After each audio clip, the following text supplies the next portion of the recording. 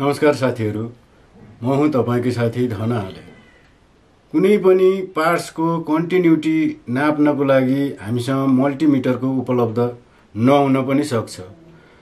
त्यसकारण यो पार्ट्सको कन्टिन्युटी सही तरिकाले नाप्नको लागि सही छ कि छैन भनेर चेक गर्नको लागि हामीले घरमै बसेर यस्तो टुल बनाउन सकिन्छ। जसलाई कुनै पनि पैसा पर्दैन। सिर्फ आफ्नै घरमा फालिएका सामानहरूलाई जोडेर यो चिज बनाउन सकिन्छ। यसले सजिलोसँग कन्टिन्युटी नाप्न सकिन्छ। कृपया यस भिडियोलाई अन्तिमसम्म हेर्नुहोला र कन्टिन्युटी नाप्ने यो टुल्स बनाउने तरिका तपाईँहरूलाई म सिकाउन गइरहेको छु। कृपया ध्यान दिएर हेर्नुहोला। मन परेमा लाइक कमेन्ट र सेयर गर्न नभुल्नुहोला। र अहिलेसम्म पनि हाम्रो यस च्यानललाई सब्सक्राइब गर्नुभएको छैन भने सब्सक्राइब बटनमा क्लिक गरी नजिकैको बेल आइकनमा पनि क्लिक गर्न नभुल्नुहोला। हस्त साथीहरू अब जाउँ यस भिडियोतर्फ।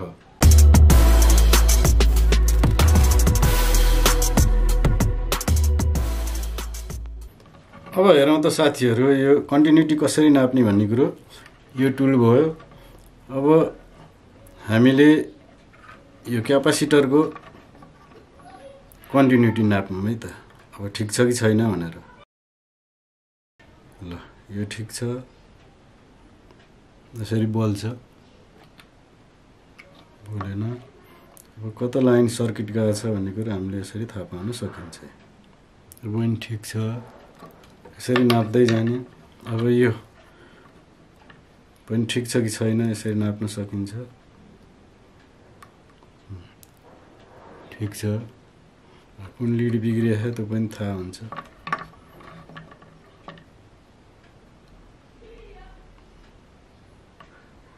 यो ठिक छ। हामीसँग यसमा लाइन छैन यो ठिक छैन। भन्ने कुरो यसरी बुझ्न सकिन्छ। अब यसलाई कसरी बनाउने भन्ने कुरो यस्तो तपाईँहरूलाई म सजिलो तरिका सिकाउन गइरहेको छु। कृपया ध्यान दिएर हेर्नुहोला। कन्टिन्युटी टेस्टर बनाउनको लागि एक नम्बरमा चाहियो हामीलाई यो लिड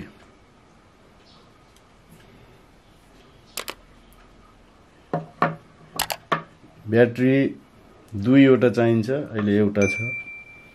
त्यो ब्याट्री अथवा यो ब्याट्री भए पनि हुन्छ।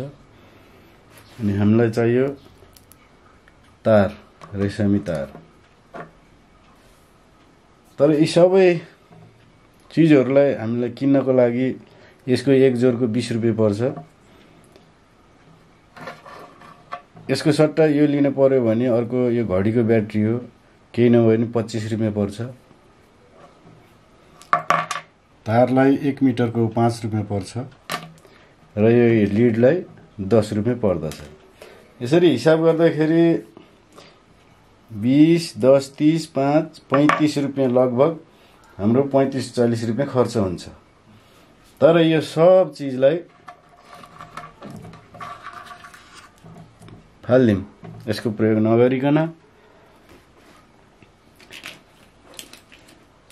तपाईँहरूलाई सजिलो उपाय म सिकाउन गइरहेको छु। जुन हामीसँग लाइटर हुन्छ सकिएको लाइटर जसको अगाडि यो बल्ने बल्ब जुन लाइटरको अगाडि यो बल्ब हुन्छ। लाइटरको ग्यास सकिए पनि यसको बल्ब हामीलाई काम लाग्छ। यो लाइटको बल्ब त सकिया हुँदैन। हो यसैको प्रयोग गरेर हामी फ्रीमा एउटा लाइटर किन्दाखेरि बिस रुपियाँ पर्छ भने अब यो त फ्रीमा आएको जस्तो हुन्छ। यही फ्रीमा हामीले कन्टिन्युटी टेस्टर बनाउन सकिन्छ। यसको लागि लाइटर चाहियो सकिएको। दुईवटा काँटी चाहिन्छ हामीलाई। लगभग डेढ इन्च अथवा दुई इन्चको काँटी भए हुन्छ दुईवटा। र फालिराखेको यस्तो तारहरू फालिराखेको तार प्रयोग गर्न सकिन्छ। हामीलाई किन किन्नु पर्यो? यदि किन्नु नै पर हुन्छ भने यही रेशमी तारलाई एक मिटरको पाँच रुपियाँ पर्छ। हामीलाई लगभग एक रुपियाँको जति तार भए पुग्छ यति छोटो भए पुग्छ। अब यसलाई कसरी बनाउने भन्ने कुरो म तपाईँहरूलाई सिकाउन गइरहेको छु।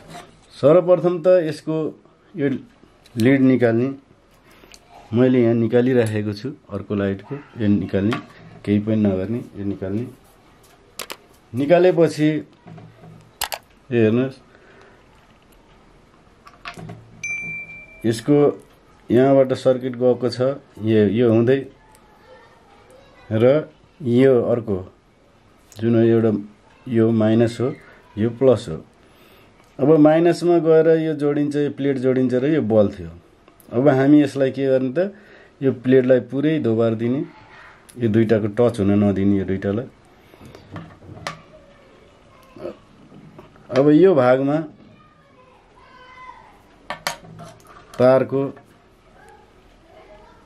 एउटा टुप्पो लगेर सोल्डरिङ आइरनबाट जोडिदिने। र अर्को भागमा अर्को तार लगेर जोड्ने। यो भागमा यो भागमा सोल्डरिङ गरिसकेपछि अब यतापट्टिको भागलाई माइनसतिरको भागलाई सिधै अर्को तार सिधै यसरी बटार दिए हुन्छ।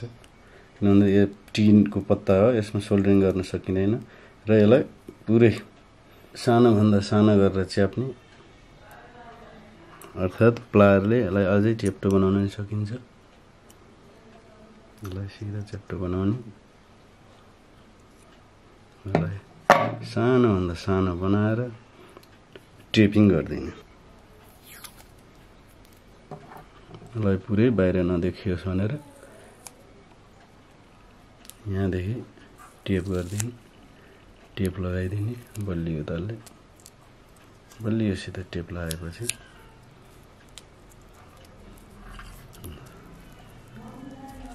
यसलाई माथिको भाग नफुक्लियोस् भनेर राम्रोसँग टेप गर्ने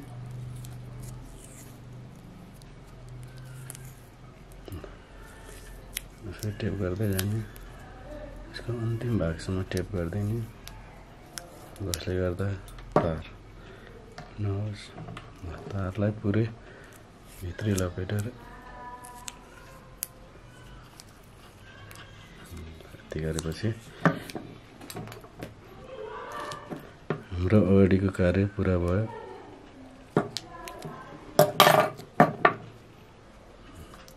अब पछाडिको लागि के भन्दा अब टेस्ट गर्ने पछाडिको लागि अब टेस्ट गर्ने भयो कि भएन।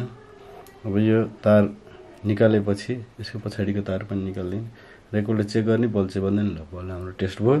अब यो सिधै तारले लगेर जोड्दा अथवा तारले लगेर चेक गर्दा हसिलो हुन्छ त्यसकारण मैले काँटी दुईवटा चाहिन्छ भन्ने कारण त्यो हो अब यो दुईवटा काँटी एउटा एउटामा बेरिदिने एउटा तार यसरी बेरियो भने अर्को तार त्यसै किसिमले अर्को तारमा पनि अर्को साइडको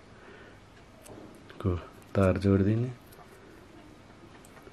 यति भएपछि हाम्रो लगभग काम सिद्धियो हुन्छ। अब यसलाई पनि दुवै दुवैलाई टेपले टाँसिदिने। जसले गर्दा यो तार नफुस्कियोस् के गर्नु पर्दैन थोरै छोडेर टेप लगाइदिनु कुनै ठुलो कुरै होइन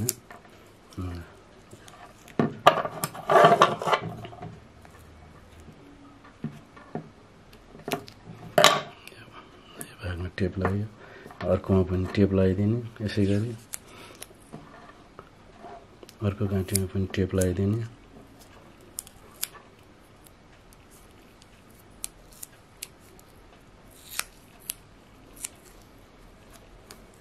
यसमा पनि टेप लगायो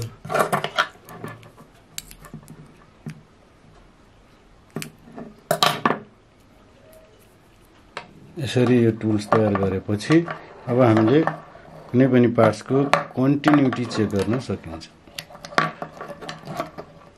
कसरी? कसरी चेक गर्ने भन्ने कुरो? अब हेरौँ।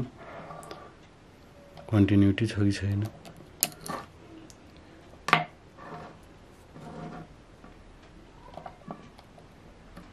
यसरी हामीले चेक गर्न सकिन्छ। अब बोल्यो भने ठिक छ बोलेन भने ठिक छैन। यसरी कुनै पनि पार्ट्सको हामीले कन्टिन्युटी यसरी चेक गर्न सकिन्छ। तर कृपया साथीहरू यसलाई एसीमा चाहिँ चेक नगर्नु होला। यो डिसी मात्रै चेक गर्ने हो अथवा खाली चेक गर्ने हो। एसीमा चेक गऱ्यो भने तपाईँलाई करेन्ट लाग्न सक्छ फेरि। खतरा हुनसक्छ एसी चाहिँ चेक नगर्नु होला। साथीहरू भिडियो हेरिहाल्नुभयो। यस भिडियोलाई कस्तो लाग्यो? कृपया कमेन्ट गर्न नभुल्नुहोला। भन्दै आजको लागि म बिदा हुन चाहन्छु। धन्यवाद। नमस्ते।